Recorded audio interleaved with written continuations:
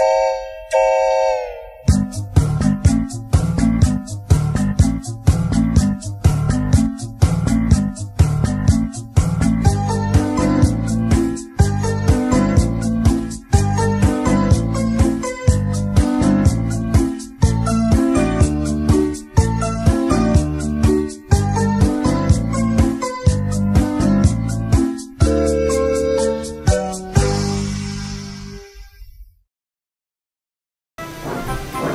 Christmas, the other railway sends a Christmas tree to Sodor. Each year, it stands on the platform at Tidmouth Station, and people sing carols round it, and the Towel Band plays. A week before Christmas, Thomas was at the station with Annie and Clarabel. The Fat Controller was arranging the carol party. You'll all have jobs to do, he said. Thomas, I want you to fetch the tree. Gordon will bring the Mayor, and Henry will be in charge of cards, letters, and parcels. Will we be able to join in the carols too? asked Thomas. We'll see, promised the Fat Controller. it would be nice to sing carols again, sighed Thomas. Two days before Christmas, the Fat Controller came to see Thomas. It's time for you to fetch the tree, Thomas, he said. Duck can look after Annie and Clarabel until you get back.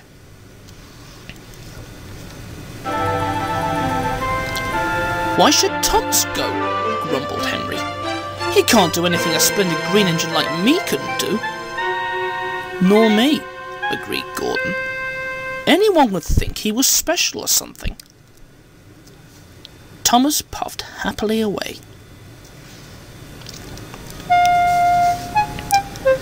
The other engines waited for Thomas to come back. They waited and waited.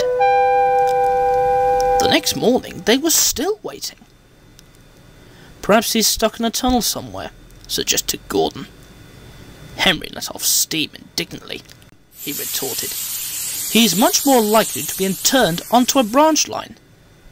It could have run into a cow, suggested Donald.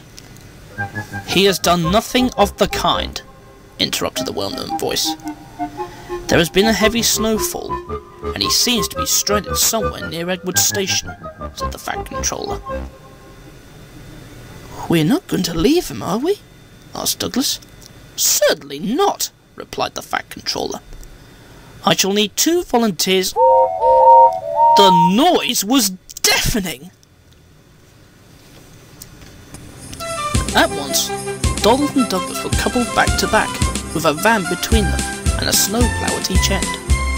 Cold but confident, they set out to the rescue. At the junction, they met Toby, Percy, and Duck, who told them that the Fat Control had cancelled all trains and ordered all engines that could to try to reach Tidmouth.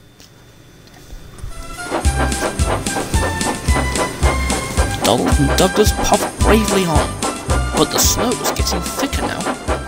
They struggled through Edward Station. Donald wanted to stop for a rest, but Douglas wouldn't let him. What if Thomas is lying hurt somewhere? he said. Great drifts of snow lay across Gordon's Hill. Again and again they forced the snowplow into the snow, each time moving slowly forward. Then they drew back and paused for breath. Mm. Hush, said Douglas suddenly. I can hear something. Very faintly came a muffled cry for help. Mm. Mm.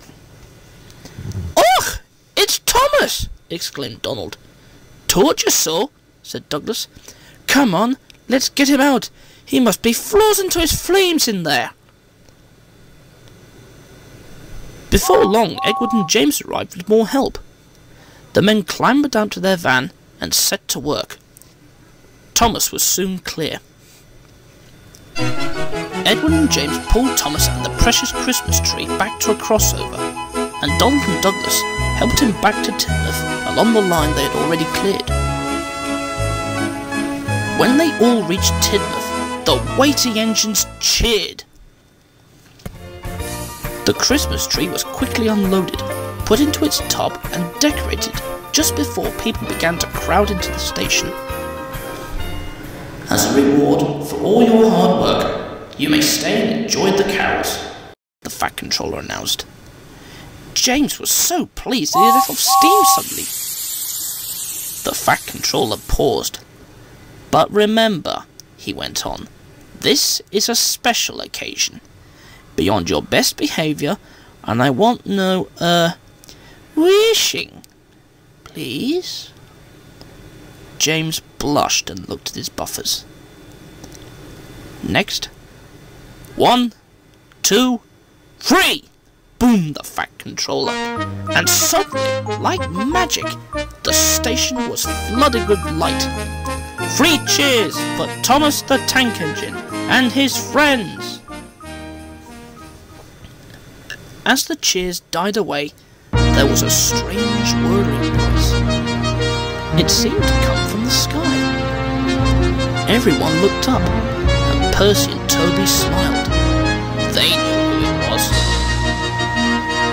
With landing lights shining brightly, Harold the helicopter touched down gently in the snow, and out stepped a figure wearing a red cloak and hood.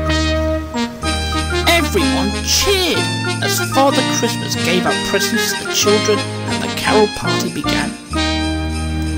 Then, Father Christmas thanked James and the other engines for rescuing Thomas, and everyone had a marvellous time. Afterwards, Thomas and Percy went back to the shed together. it's no fun getting stuck in the snow, whispered Thomas. But it was worth it for that party. Happy Christmas, everyone.